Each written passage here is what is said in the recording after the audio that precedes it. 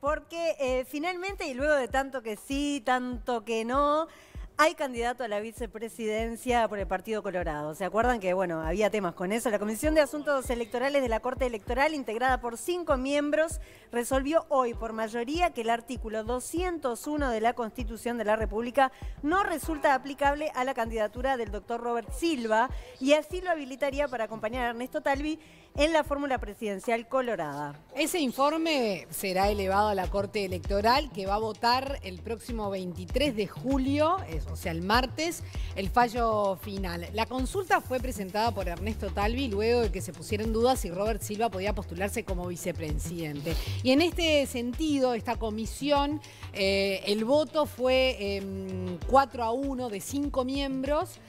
4 eh, a 1, 4 votaron a favor de eh, bueno, que Robert Silva pueda presentarse en esa fórmula. Quienes votaron a favor fueron Analía Piñeirúa, Wilfredo Penco, Arturo Silvera y José Garchitorena. Y el voto en contra fue de José Ignacio Corseniac.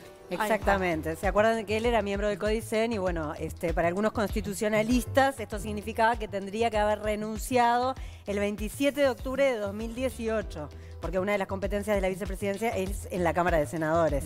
Pero bueno, él renunció a su cargo el 5 de julio. Claro, lo que se discute es si el vicepresidente es parte, digamos, del poder legislativo o es parte del ejecutivo. Ahí es donde estaba, eh, bueno, esa duda y bueno. Se disipó ahora y ya está resuelto. Eh, por esta comisión falta, la aprobación de la Corte Electoral. El martes. exactamente, el de la Corte Electoral. Pero toda la información y las fuentes indican en que todo seguiría el mismo curso de esta comisión.